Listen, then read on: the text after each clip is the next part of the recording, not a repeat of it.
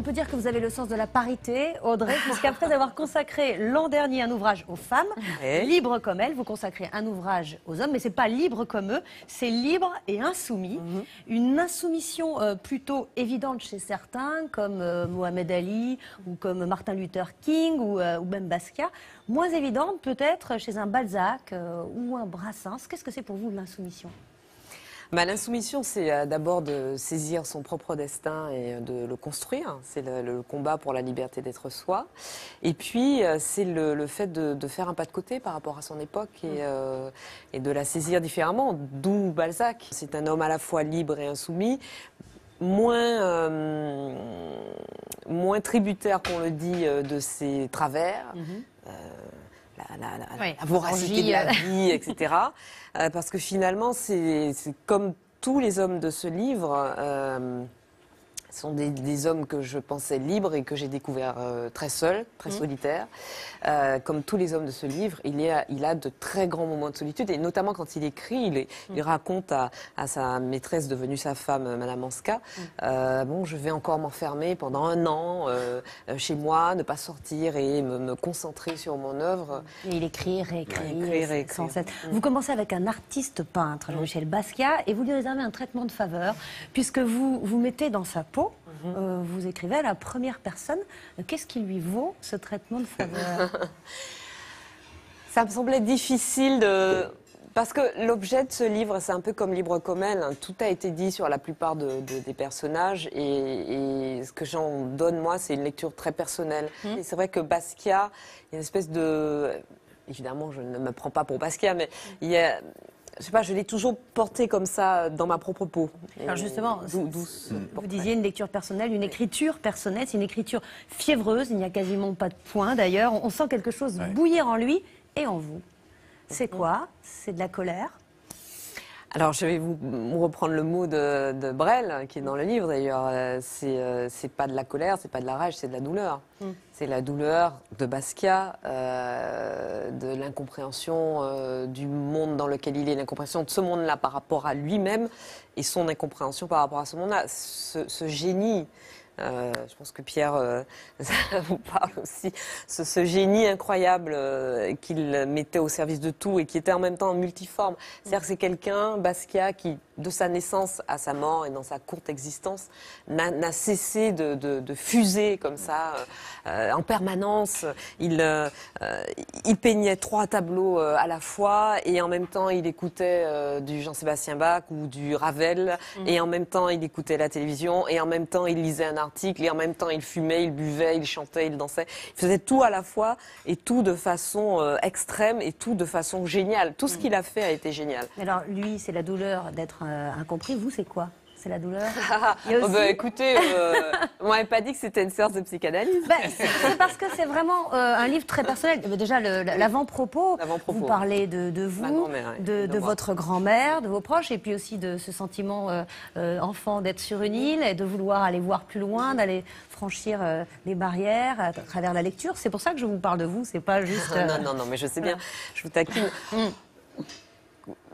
C'est une forme de, sensation aussi d'inadaptation. J'ai tendance à dire que je, suis, euh, je suis non conforme, mais à tous les sens du terme, non conforme et pas conforme. Mmh.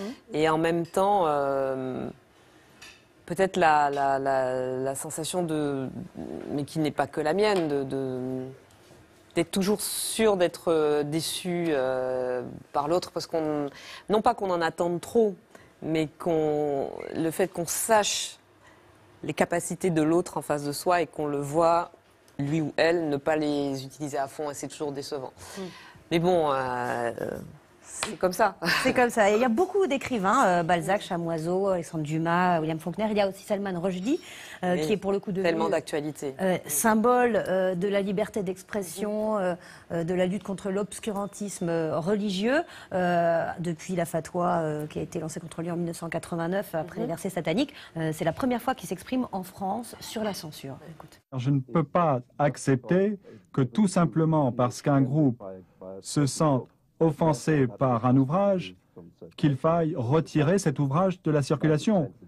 Si c'était le cas, il faudrait retirer 90% des livres à la vente. Une offense ne peut donc jamais être considérée comme une raison de censure valable. Effectivement, le choix de Rushdie aujourd'hui. euh, Bien sûr, mais c'est incroyable. Euh, parce que, bon, évidemment, quand j'écrivais le livre euh, cet été, je ne mm. pouvais pas imaginer ce qui allait se passer en, novembre. Et, et, au, et, pendant que j'écrivais le portrait de Rushdie, je me disais, mais il est tellement. Enfin, ce qui lui est arrivé est tellement emblématique de ce qui nous arrive aujourd'hui. D'ailleurs, il le dit lui-même, il l'a souvent dit, après notamment les attentats du 11 septembre aux États-Unis. il disait, mais. L'affaire des versets sataniques était la première note de cette musique dont nous entendons aujourd'hui la symphonie macabre. Absolument. Donc, euh, on était en face du désastre et on a, enfin, dès 89, qu'un État qu'un État euh, puisse appeler au meurtre mondial d'un être humain, d'un écrivain, donc un artiste, un créateur, au motif que euh, son, son, œuvre euh, perturberait le fonctionnement de cet État, c'est on marche sur la tête. Mm. C'est une offense qui était faite à tout le genre humain. Et je ne crois pas qu'on ait pris la mesure à ce moment-là de cette offense, même si évidemment il y avait eu des réactions. mais très rapidement, elles se sont tues. Et ce qui est arrivé à Salman Rushdie était annonciateur de ce qui s'est passé le 11 septembre aux États-Unis et de toute une série de fracas. C'est pas le seul élément, mais c'est toute une série de fracas, y compris ceux qui nous frappent aujourd'hui, était en germe dans cette fatwa de 89 qui court toujours. Mmh. Oui, ça. sous le coup d'une fatwa. Alors il y a des écrivains, il y a aussi des, poètes, chanteurs, Brel et Brassens, fromage et dessert. ah mais faut pas choisir entre les deux. Surtout pas choisir. Alors nous on a dû choisir quand même euh, un extrait de Georges Brassens qui est dans votre livre. C'est en 1969, il se confie à ah, cette interview. Qu'est-ce qui est le plus grave dans l'avenir du monde pour vous? Bah, Ce qui est peut-être le plus grave, c'est que l'homme perde son, individualité, c'est une espèce de liberté. Dans les, je parle de la liberté individuelle, de liberté de penser tout seul, même de penser qu'on va se raser de telle manière, qu'on va se peigner de telle manière, alors qu'aujourd'hui, il semble que cette liberté soit complètement réduite à néant.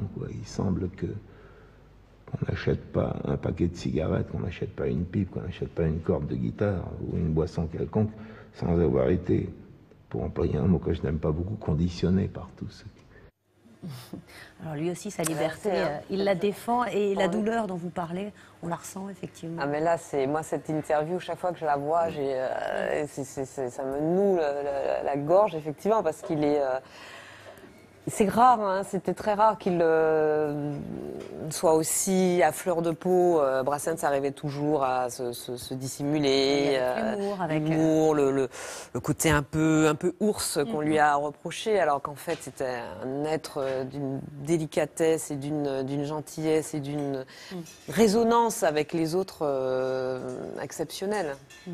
Vous irez ou vous êtes allé euh, faire la promotion, parler de ce livre euh, au Grand 8 ou pas? Je l'ai fait, je l'ai fait euh, la semaine dernière. Et, Ça vous manque pas trop le Grand 8 Non, c'est une, une, partie de, une partie de ma vie. Ça, ça a été quand même trois années, trois saisons. Mais non, non. Le Grand 8, qui était à l'antenne le lundi après les attentats du 13 novembre dernier, avec Laurence Ferrari particulièrement émue. Nous voulons rendre hommage à toutes les victimes qui ont péri vendredi soir, toutes celles qui se battent encore euh, pour leur vie dans les hôpitaux parisiens. Et puis nous, euh, dans le groupe euh, Canal+, Vivendi, Universal, nous avons cinq de nos collaborateurs qui ont perdu la vie vendredi soir. Il y avait Grégory, 28 ans, programmateur musical à D17. Il y avait Mathieu, 37 ans, technicien supérieur d'exploitation vidéo qui collaborait régulièrement avec ITélé, Canal Plus Overseas. Et puis il y avait trois collaborateurs d'Universal Musique Groupe, Manu, Thomas et Marie. Voilà, nous adressons à leur famille toutes nos prières, toutes nos pensées les plus émues, ainsi qu'à toutes les autres victimes de ces attentats. Ces larmes, elles ont été critiquées, moquées par Stéphane Guillon dans sa revue de presse euh, dans l'émission de Thierry Ardisson, rien, expliquant qu'il n'avait pas envie de faire rire en ce moment, mais pas non plus de pleurer à grosses larmes comme Laurence Ferrari. Stéphane Guillon est dans son rôle. Euh, s'il devenait gentil, ce serait, euh, il serait plus. Euh, alors, je ne parle pas de sa personnalité, mais il ne serait plus dans son rôle, d'humoriste et de poil à gratter.